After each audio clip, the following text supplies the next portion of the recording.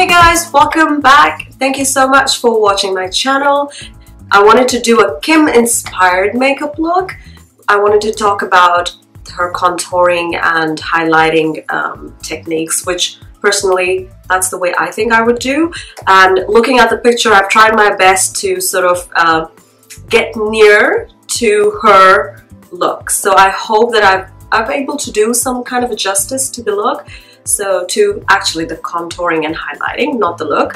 Do keep in mind that when a lot of people say Kim Kardashian inspired makeup look, people think that, oh, at the end, the person is going to actually look like Kim Kardashian. You cannot unless you actually resemble her. Like if you see Kim's face and my face, I have totally different features. She naturally has a very thin heart-shaped face while me, on the other hand, I've got more on the round side. So sometimes the makeup techniques, what probably has been used on her would not work on certain faces according to the face shape. So please bear that in mind and do not expect that at the end of the video I'm gonna look like Kim Kardashian because I cannot. I have my own features so that's why it's inspired look. So if you want to see how to get this contour and highlight technique please keep watching. Okay beauties, so I'm gonna start with my Smashbox Photo Finish color corrector and this is basically used for just correcting out your skin if you have like dark areas or blemishes. So it's it sort of evens out your skin tone so you just take a little bit and you just put it on your skin like so. I've already moisturized my skin. So for this Kim look, I'm using Anastasia Beverly Hills Contour Cream Kit and I'm going to use the medium shade. And what I'm going to do is basically, I have dark circles so I need to sort of minimize my dark areas. And for that, I'm going to use this peachy, orangey corrector color. So I'm going to take my concealer brush. This is by Makeup Addiction. I'm going to put this under my eyes like so. And probably if you have any more dark areas, if you feel like you have some other areas that you need to work on, so you can just simply apply it.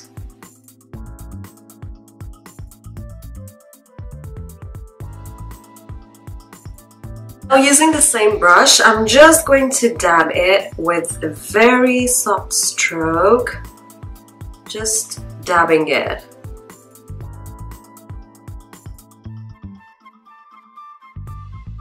Now taking a beauty blender, you're just going to blend the peachy corrector. As you can see, it already brings in a lot of brightness. It makes your skin even. Make sure your beauty blender is damp, otherwise it's not gonna blend.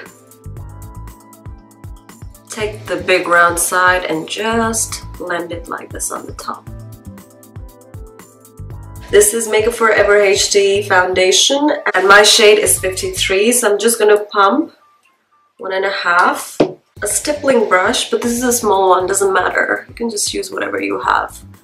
And we're just going to blend it like that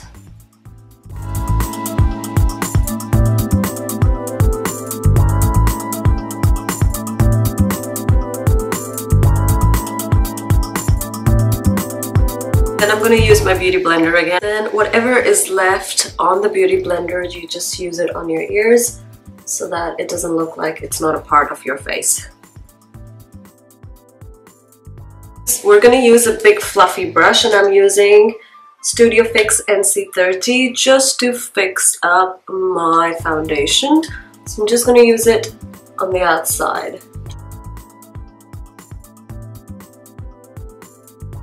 So we're gonna come to contouring now. So what I'm gonna do is I'm gonna use this dark shade. What shade is this? This is Cinnamon. I'm going to just make a fish face. Starting from your hairline. You go like that.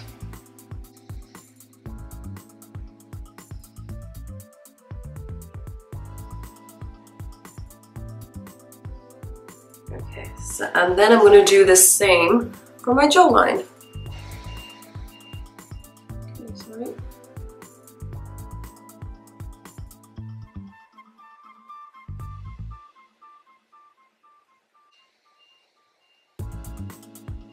What I'm going to do is I'm going to try to bronze out my face and contour the areas which I feel like she has darkened up. So over here, we're going to use over here.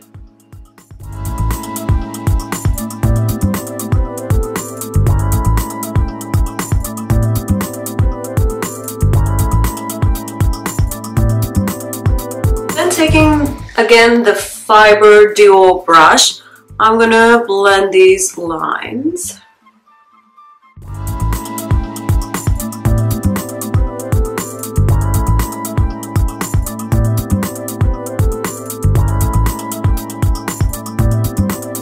You again blend this in the hairline so that it doesn't look like it's been forced on your skin. When you take it up, you don't take it down, otherwise it's going to be very low. So...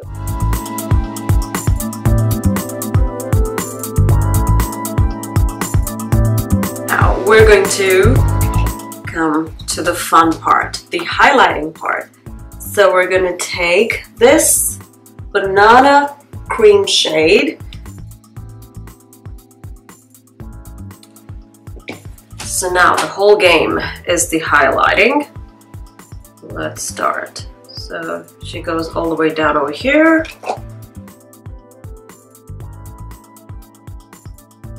It's like super highlighted. All the way down like that. So that it's like a big triangle, you can see, which is touching your hairline from here. And there is a little, and this has to be like this. I'm gonna do the same thing on the other side.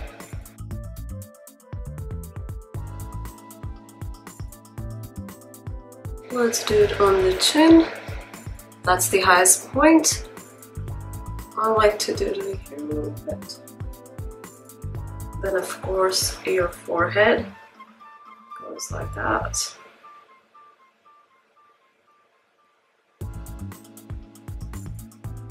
And the tip of your nose.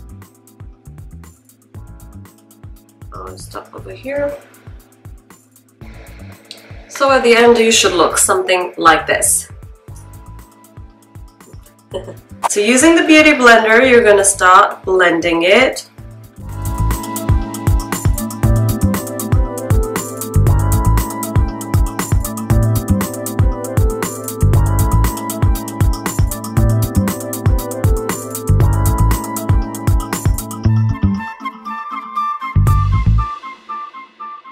So once this is done, what we're going to do is I'm going to fix my highlighter using my Kat Von D Shade Light Contour Kit. So I'm going to blend, as I always do, this banana shade with the Sephora Highlight Banana. And I'm going to take my Beauty Blender only. So first I'm going to take the banana shade So once we are done with the cream contour, what I'm going to do is I'm going to take my Shade and Light Contour palette and I'm going to use a small contour brush and I'm going to use this light brown shade just on the top just to give it a little bit of color, not too much. I'm going to personally press this area in order to sort of have uh, Kim's face shape uh, because her face is really narrow from this side and I don't have that because my bones are broad. So we're just gonna try to give an illusion of thin face. So do remember guys that you can do all these things but keeping it in a limit you can only go to a certain extent. If you go too overboard I think it becomes really obvious that you've tried really hard to sort of create your jawline or you know create like a cheekbone. So just go very smooth. Now I'm gonna take my Rockateur bronzer. Okay, for the nose contour, so I'm just gonna take this brown a little bit and just do like a little bit, not too much. So you're going to take it and blend it with your brow.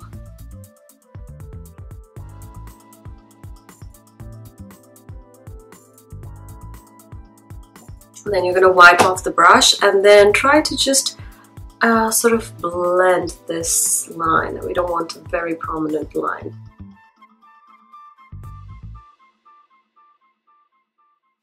Now I'm going to use blush. This is Pink Swoon by MAC. It's a very nice bright pink color and I'm going to use a blush brush. So just going to take a little bit and use it on the apples of my cheek.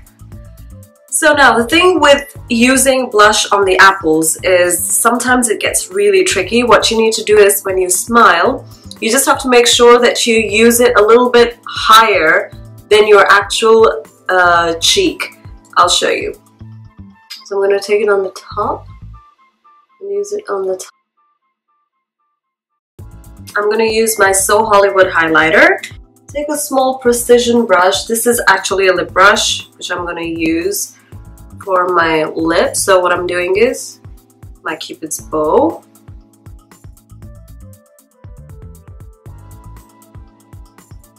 We are using a lot of highlighter over here, so not stress. Little ball.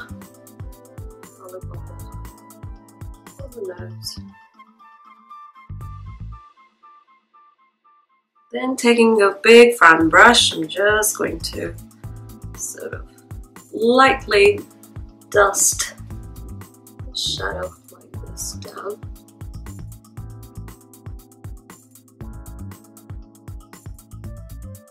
And here you go. I hope this was a little bit of help to a lot of people who are like hardcore fan of Kim Kardashian's highlighting and contour techniques. So this is what I think personally. This is the way she goes on. Her cont more than contouring, I think her highlighting is super strong. That is what makes her features really stand out. Don't forget to watch Kim Kardashian's inspired makeup look 2 in which I've actually tried to do the look that you can see on the screen right now. And I will try to bring it as near as possible because thing is that um, she's not looking down so you can't really see what's really happening on the eyes but you know we'll just try it out and see. So guys I'm gonna see you in Kim makeup look part 2 till then you take good care of yourself stay safe and stay beautiful. Bye guys.